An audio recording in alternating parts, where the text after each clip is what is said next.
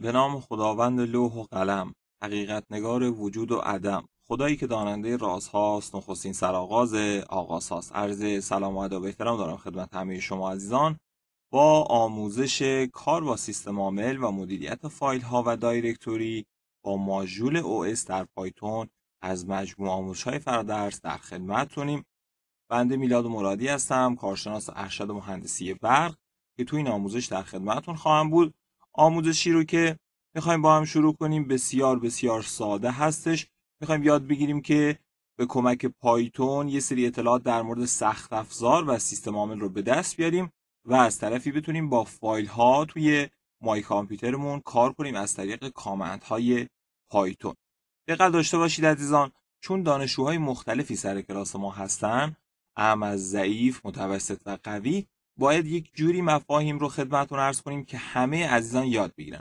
پس یه جاهایی ممکنه من یه سری مطالب خیلی ساده و پیش پا افتاده رو زیاد توضیح بدم. خواهش می‌کنم اون عزیزانی که مسلط هستن ناراحت نشن.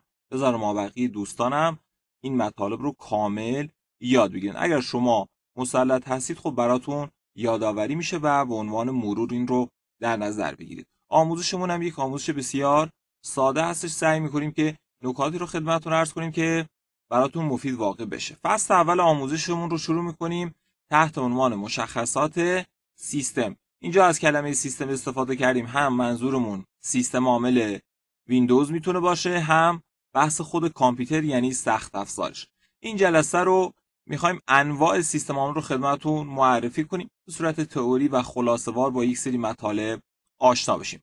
اصلا سیستم عامل چی هستش؟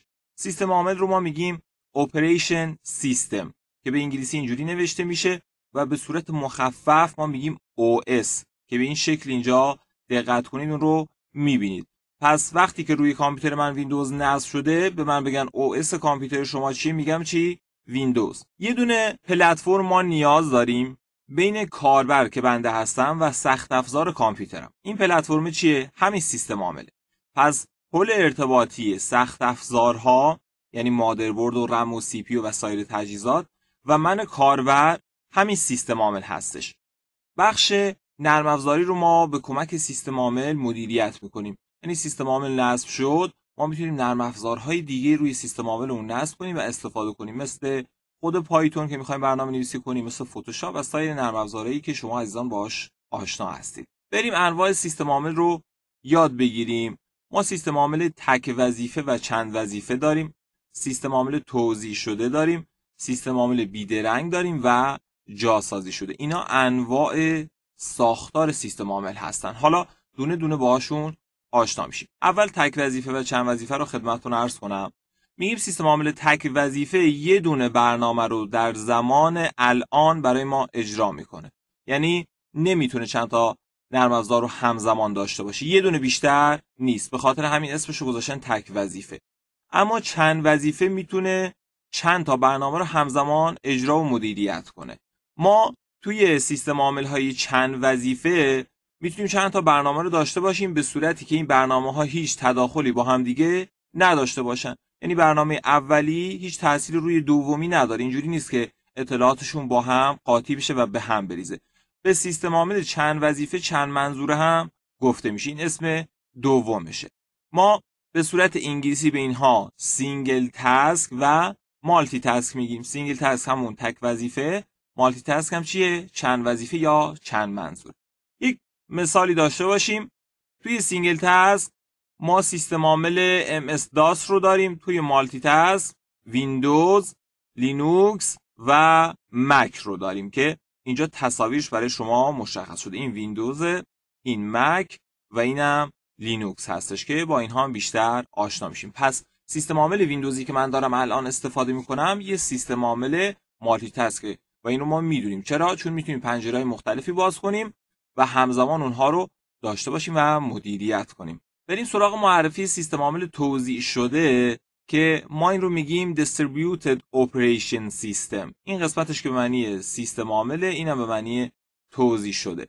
یک مجموعه کامپیوتر رو این سیستم عامله از طریق شبکه مدیریت یعنی ما چند تا کامپیوتر رو به هم وصل می‌کنیم. یه دونه کامپیوتر داریم به عنوان به اصطلاح لیدر که مابقی کامپیوترها رو مدیریت کنه اون کامپیوتر لیدر سیستم عامل توضیح شده داره. محاسبات مورد نظر ما بین همه این کامپیوترها تقسیم میشه. این سیستم عامل میاد میگه کامپیوتر شماره یک این پردازش رو انجام بده کامپیوتر شماره دو این پردازش رو انجام بده. برای هر کدومشون یه سری وظایف معرفی و تعیین می‌کنه. اینا میان انجام میدن و میان همه نتیجه ها رو به کامپیوتر اصلیه نشون میدن.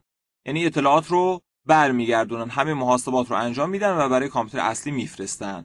و یه نکته هم که داره این شبکه و سیستم عامل توضیح شده ما وقتی که این اطلاعات جابجا جا میشه به گونه ای هستش که ترافیک شبکه ما پایینه. یعنی اینجوری نیست که ترافیک بالا بره و ما مشکل شبکه داشته باشیم. اینجوری این رو طراحی کردن. این یه تصویر برای درک بهتر قضیه. این کامپیوتر اصلی ماه چند تا کامپیوتر مختلف باش در ارتباط هستن و هر کدوم ارتباط دو طرفه دارن. یعنی هم اطلاعات از این کامپیوتر اصلی دریافت می‌کنن هم بهش ارسال می‌کنن. چه اطلاعاتی رو دریافت می‌کنن؟ دستورات رو.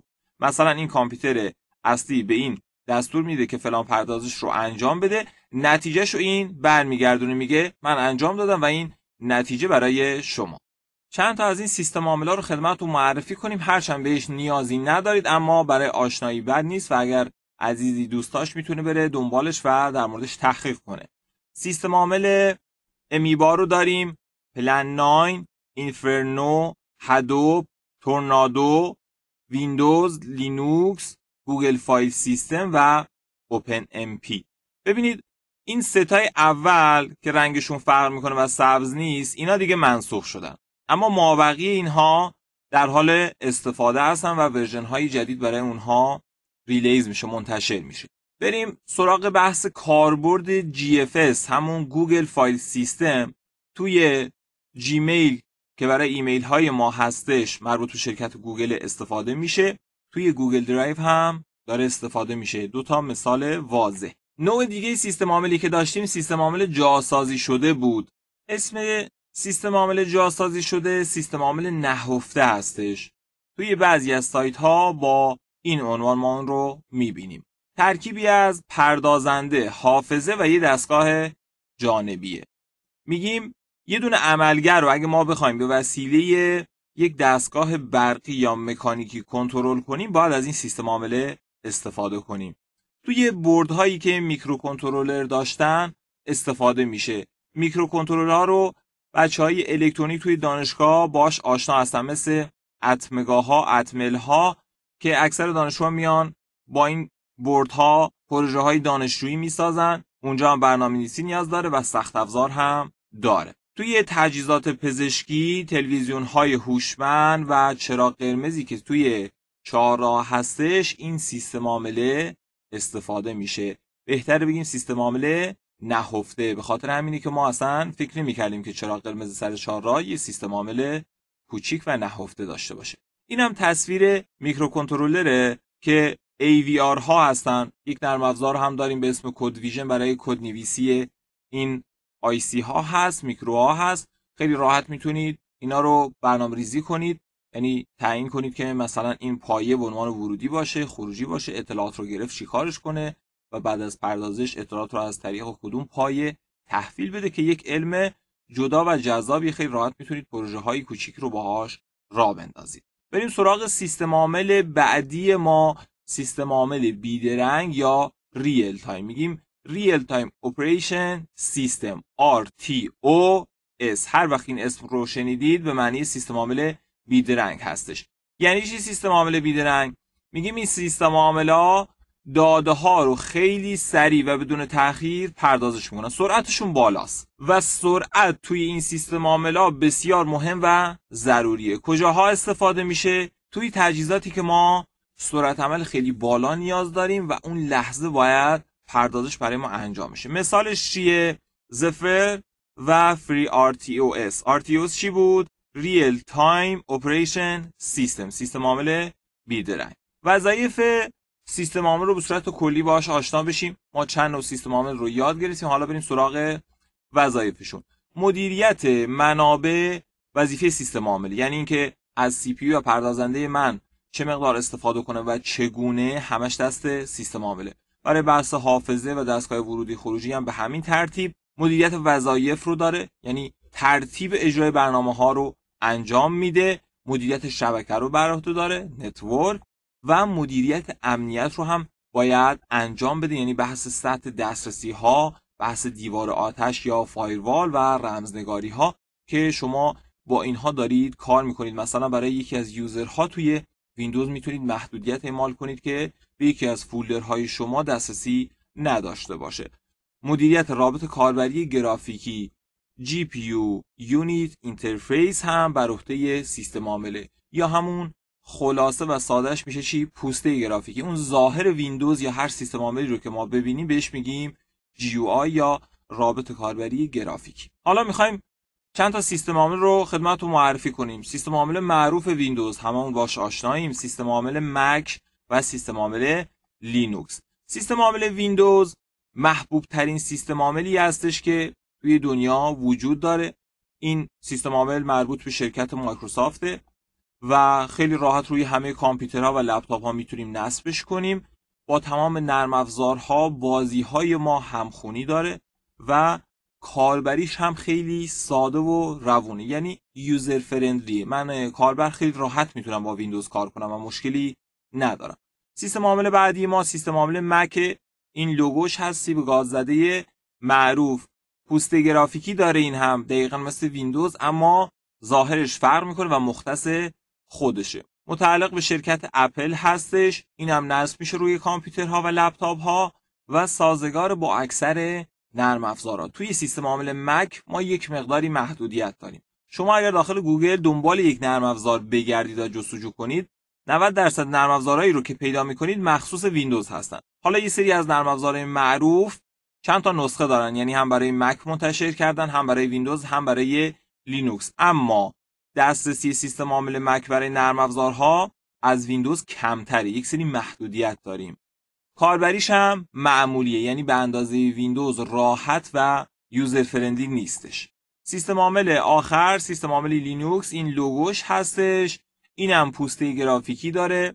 قبلا ها نداشت version های جدیدش پوسته اضافه کردن یعنی GUI داره. شاخصه اصلی لینوکس open source بودنشه یعنی کدش منبع بازه و هر فردی توی جهان می‌تونه اون رو توسعه بده به هر شکلی که دوست داره. از زبانهای برنامه نویسی C, C++, پایتون و جاوا پشتیبانی می‌کنه به صورت پیشفرض و محیط مناسبی برای برنامه نویسیه و کاربریش سخت و پیچیده است. اکثر کاراش به صورت command ی است. یعنی شما با موس خیلی راحت نمی‌تونید کار کنید. اکثر کارهایی رو که می‌خواید توی لینوکس انجام بدید نیاز هست که عین برنامه نویسی command وارد کنید. خب تو این جلسه با انواع سیستم عاملا از نظر ساختار آشنا شدیم.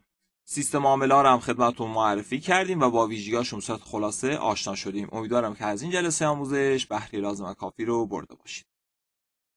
به نام خدا تو این جلسه از آموزش می‌خوایم با ویژگی های زبان پایتون آشنا بشیم. محبوب ترین زبان برنامه نویسی که در حال حاضر وجود داره زبان پایتونه. خیلی کدها و دستوراتش به زبان انسان نزدیک هستش. به همین دلیل ما خیلی راحت می‌تونیم این زبان رو یاد بگیریم و توی حوزه های مختلف هم کاربرد داره. یعنی چهار تا ویژگی خیلی خوب رو ما از زبان پایتون خدمتتون عرض کردیم. حالا بریم سراغ معرفی یه سری از خصوصیات تخصصی تر و مطالب رو بیشتر براتون باز کنیم. زبان برنامه نویسی سطح بالا چیه و چه ویژگی هایی داره؟ میگیم این نوع زبان ها خیلی قابل فهمن. کدش رو اگر من ببینم حتی اگر برنامه نویسی بلد نباشم یه سری چیزها رو درک می‌کنم.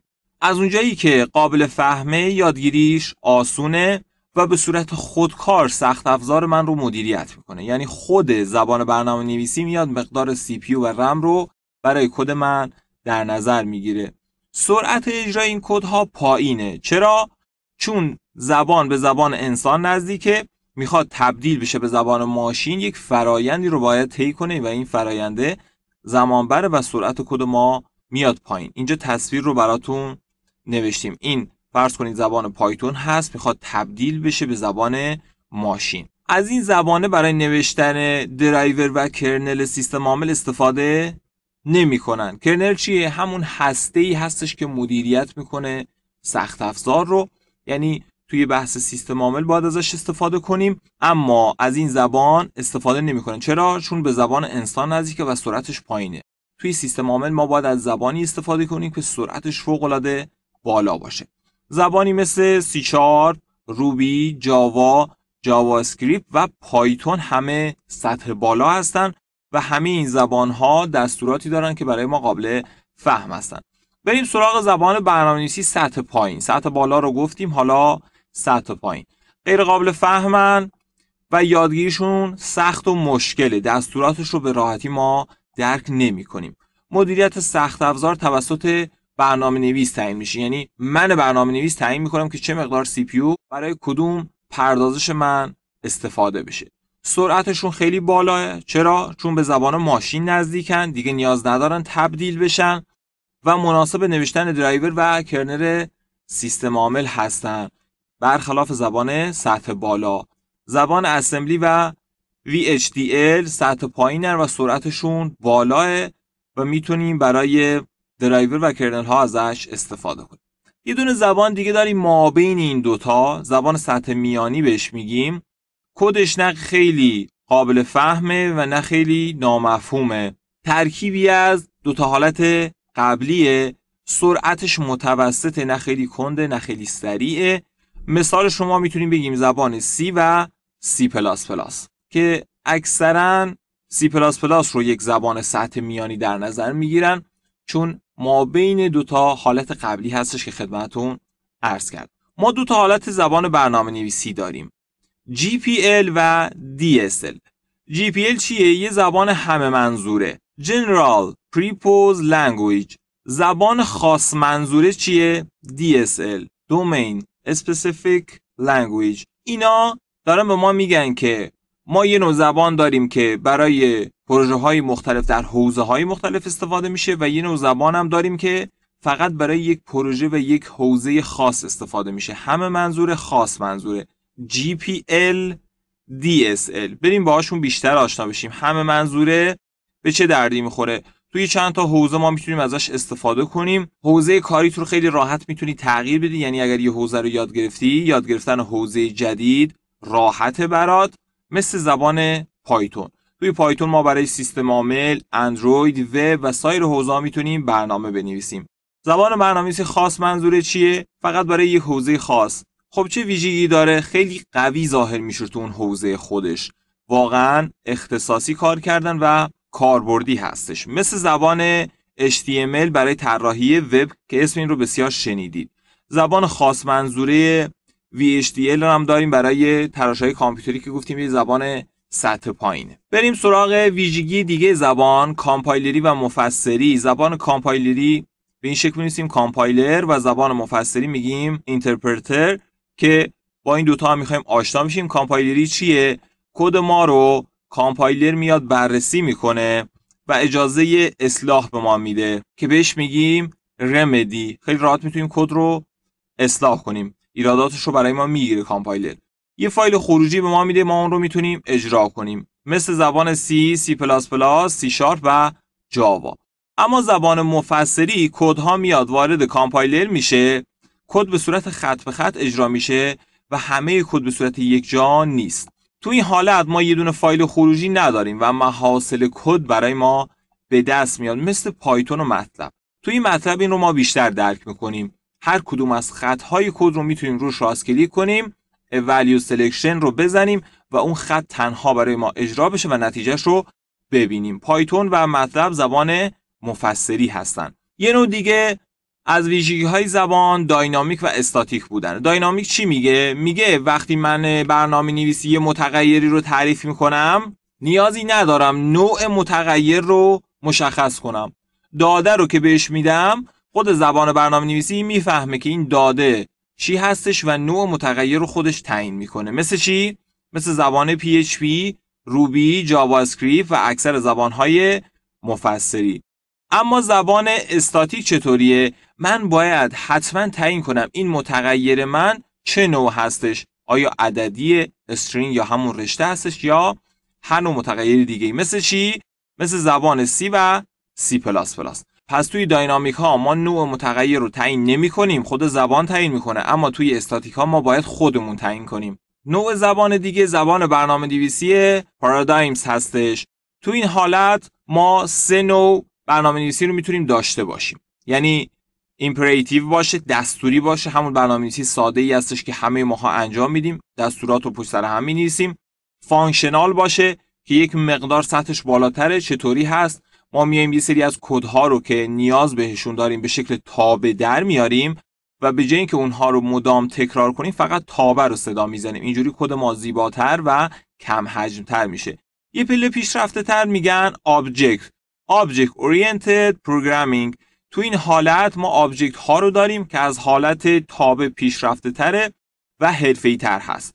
زبان پایتون قابلیت کدنویسی این سه حالت رو داره که تو این آموزش ما تابع و object نداریم. خیلی دستورات ساده و پیش پا افتاده رو داریم و در حالت یک داریم کدنویسی رو انجام میدیم. حالا بعد از یاد گرفتن همه این حالت های مختلف زبان و ویژگی اونها پایتون رو می‌خوایم توی یک اسلاید خدمتتون معرفی کنیم. پایتون یه زبان سطح بالاست به زبان انسان نزدیکتره. چند منظوره هستش؟ GPL یعنی می‌تونیم توی اندروید سیستم عامل وب و سایر حوزه ازش استفاده کنیم. مفسری گفتیم مثل زبان متلبه یعنی خطها دونه دونه اجرا میشن. dynamic متغیر داخلش تعریف می‌کنیم نیازی نداریم نوع متغیر رو تعیین کنیم. خود پایتون این کار رو برای ما انجام میده. strong type هستش. این ویژگی خیلی جالبه. نمی‌ذاره دو تا متغیر که نوعشون با همدیگه فرق می‌کنه رو ما با همدیگه پردازش روش انجام بدیم مثلا یه متغیر من دارم متنیه یه متغیر دارم عدده. می‌خوام اینا رو جمع کنم ارور میده. و من نمی‌تونم دو تا متغیر از دو نوع رو با همدیگه ترکیب کنم یا پردازش روی اون انجام بدم. حالت 6 که توصیف پایتونه برای وب هوش مصنوعی پردازش تصویر امنیت شبکه اندروید و بلاکچین ما می‌تونیم ازش استفاده کنیم. پایتون یک زبان بسیار جامع با ویژگی های بسیار جالبی هستش. امیدوارم که از این جلسه آموزش بهره لازم و کافی رو برده باشید. به نام خدا تو این جلسه از آموزش خواهیم پایتون رو نصب کنیم و محیط VS Code رو راه اندازی کنیم که برای جلسات بعدی بتونیم کد نویسی رو در یک محیط مناسب انجام بدیم. نکته اول من باید پایتون رو از سایت اصلی خود پایتون یا سایت های ایرانی دانلود کنم. این رو من باز می‌کنم. ببینید فایل پایتون version 3.11.4 هستش که آخرین version ی از تا این لحظه منتشر شده. 64 بیتیه چرا چون ویندوز من 64 بیتیه شما می‌تونید 86X یا همون 32 بیت رو هم دانلود کنید با توجه به سیستم عامل خودتون. حجمش رو اگر نگاه کنیم راست کلیک می‌کنم. properties رو می‌زنم 24 مگابایت. یک فایل بسیار کم حجم. برای اینکه من روی محیط ویندوز خودم پایتون رو داشته باشم اولین کار اینه که این رو نصب کنم. روش double click می‌کنم میرم برای نصب. گزینه اد پایتون تو پس رو حتما فعال بفرمایید. و اینستال رو بزنید. بسیار کم حجم و خیلی راحت برای شما نصب میشه. می‌بینید که منم دارم فایل رو الان توی آموزش براتون نصب می‌کنم. اینجا نوشت که نصب شما با موفقیت انجام شد. این صفحه رو میبندم. میام داخل منوی استارت. توی قسمت سرچ IDLE رو تایپ کنم ببینید این برای من اضافه شده. بازش می‌کنم. این رو در حالت full screen قرار میدم. این محیط برنامه نویسی پیشفرض پایتونه. ما بهش میگیم IDLE پایتون. اینجا شما می‌تونید فایل رو باز کنید new file رو بزنید یک صفحه جدید بهتون میده و اینجا شروع کنید به تایپ کردن دستورات.